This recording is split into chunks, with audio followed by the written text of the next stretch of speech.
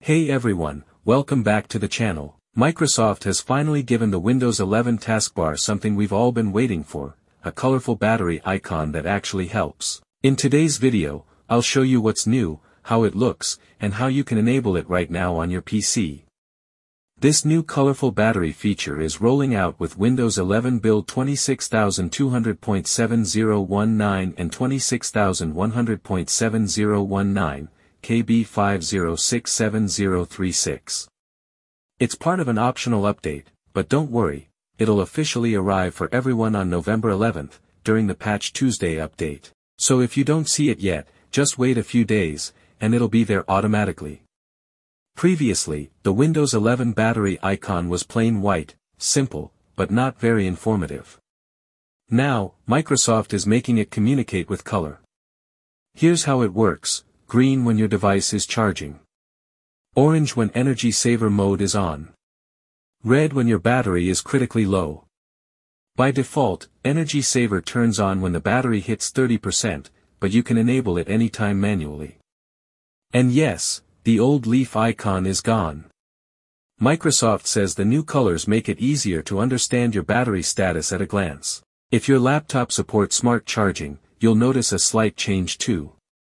Previously, there was a lightning bolt with a heart icon. Now, when your battery charges up to 80%, you'll see a plug icon, letting you know it's paused to preserve battery health. You can click at any time to allow charging up to 100%. It's simpler, cleaner, and fits perfectly with Windows 11's modern design. You might also notice that the battery icon looks longer now. That's actually intentional. Microsoft says they've extended the length to make the battery levels easier to read. They moved overlays to the middle and reduced clutter, now you can instantly see if you're low, charging, or full, all in one quick glance. And here's another great addition, you can now show the battery percentage directly on your taskbar. Just head to, Settings System Power and Battery, then toggle on, Show Battery Percentage. Yes, it takes a little more space, but it's totally worth it if you want clarity and precision. The colorful battery and percentage feature is rolling out now, but it'll reach everyone with the November 11, 2025 update. So keep your system up to date, you'll see it soon. So what do you think of the new Windows 11 colorful battery icon? Is it a small but helpful improvement, or just another cosmetic change? Let me know your thoughts in the comments below.